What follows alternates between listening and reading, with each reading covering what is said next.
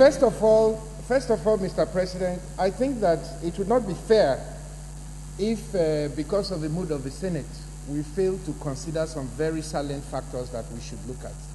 I'll therefore plead with you to just give me two minutes to point a few things out. You already recognized. Go ahead. I recognize already, so.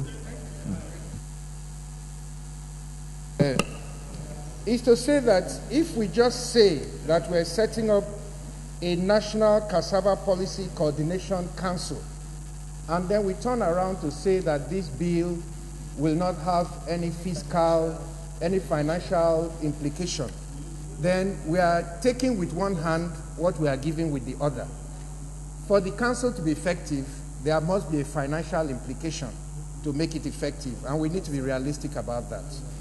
Secondly, sir, if we do not make a provision for a minimum level of inclusion of cassava flour in whatever flour we say will be used in the country, we must have a mandatory minimum in the bill. If not, the bill, we might as well not pass it. So the bill must start from a minimum. If we say, okay, every flour that is used in Nigeria must have a minimum of 5% cassava, then that, that becomes a problem. So those are things that we must look at. We must, we must look at starting out. Secondly, sir, secondly, Mr. President and my esteemed colleagues, I also want to point out that we must be careful in trying to create jobs for cassava farmers.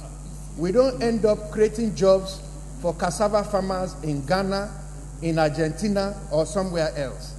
Because if you simply say, okay, flour being used in Nigeria must have 5% cassava content, it is easier for whoever is producing flour in the US to probably get his flour from Ghana, Costa Rica, or somewhere and meet up the required legal uh, percentage required in Nigeria and then send you the flour with the 5% cassava intake, but that cassava is not from Nigerian farmers.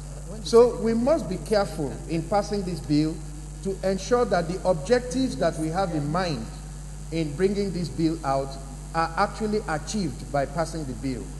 I just thought that uh, we, we, we should point out some of